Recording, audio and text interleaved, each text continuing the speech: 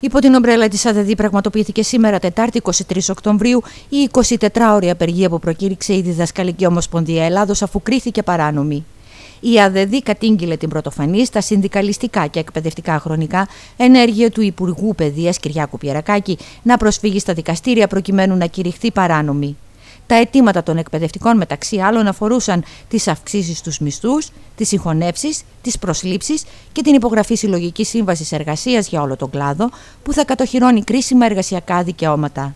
Παράλληλα ζητούν τη θωράκισή τους και διεκδικούν την νομική κατοχύρωση των εκπαιδευτικών καθώς όπως λένε είναι απροστάτευτοι και βρίσκονται στο στόχαστρο πολλών παθογενειών. Το ποσοστό συμμετοχής από την πρόεδρο του Συλλόγου Εκπαιδευτικών Νομού Σερών Ειρήνη Ζαπάρα κρίνεται ικανοποιητικό. Οι εκπαιδευτικοί των Σερών συγκεντρώθηκαν το πρωί έξω από τα γραφεία της πρωτοβάθμιας εκπαίδευσης. Ε, σήμερα η απεργία είναι κλαδική απεργία, κατεβαίνουν δηλαδή, είναι προκηρυγμένοι από την Δασκαλική Ομοσπονδία και χθες μετά από τις άσχημες εξελίξεις όσον αφορά την παραπομπή της α, απεργίας ε, στα δικαστήρια αποφάσισε να κατέβει και η, η ΟΛΜΕ.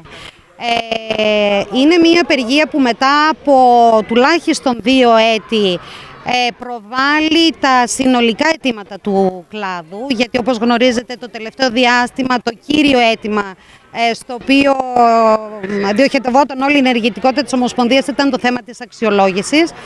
Τα αιτήματα που προβάλλονται αυτή τη στιγμή αφορούν τόσο τις, τα μισθολογικά και τα οικονομικά ζητήματα του κλάδου. Ενδεικτικά θα πω ότι δεν είναι δυνατόν ε, οι νέοι συνάδελφοι, οι οποίοι καλούνται να υπηρετήσουν στις εσχατιές της Ελλάδας με πλούσιο βιογραφικό, πτυχία μεταπτυχιακά και διδακτορικά να έχουν έναν εισαγωγικό μισθό των 776 ευρώ.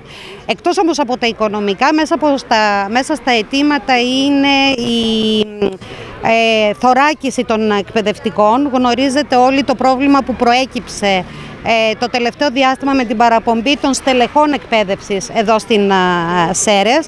Οι εκπαιδευτικοί είναι αθωράκιστοι ε, μπροστά σε όλα αυτά τα που ε, συμβαίνουν και μάλιστα θεωρούνται υπεύθυνοι για όλα ακόμη και αν δεν διαθέτουμε ε, τις γνώσεις ή τις συγκεκριμένες αρμοδιότητες. Ένα ακόμα αίτημα είναι η εξίσωση του ωραρίου ε, της πρωτοβάθμιας εκπαίδευσης με την δευτεροβάθμια, όπως και η εξίσωση των δικαιωμάτων που έχουν οι μόνιμοι εκπαιδευτικοί ε, με τους αναπληρωτές.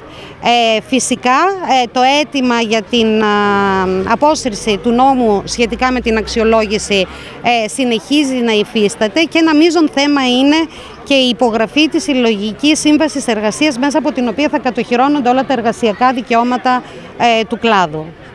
Τα ποσοστά απεργίας σήμερα ε, είναι ε, κατά την άποψή μου σε ικανοποιητικό βαθμό, είναι 14% ε, στην πρωτοβάθμια εκπαίδευση.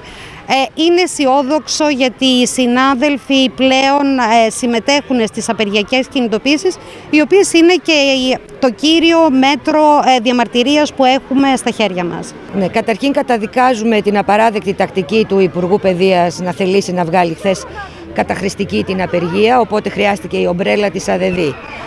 Τώρα στο... αυτό είναι το πρώτο απεργιακό βήμα. Είναι η κλαδική απεργία της Ομοσπονδίας, ακολουθεί η γενική απεργία της 20, στις 20 του ε, Νοέμβρη.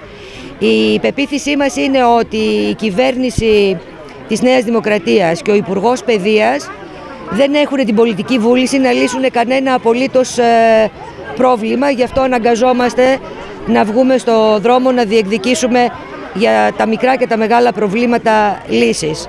Υπάρχουν αυτή τη στιγμή σε εξέλιξη πειθαρχικά.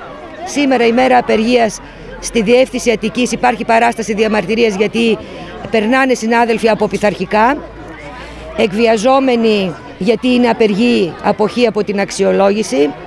Υπάρχουν νεοδιόριστοι οι οποίοι του 20, του 21, του 22 που δεν έχουν πάρει τις διαπιστωτικές πράξεις ε, μονιμοποίησης. Υπάρχουν συνάδελφοι αναπληρωτές που πρέπει να ζήσουν με 776 ευρώ. Υπάρχουν οι μισθοί μας οι οποίοι είναι καθυλωμένοι εδώ και πάρα πολλά χρόνια με τα, με τα μνημόνια τους.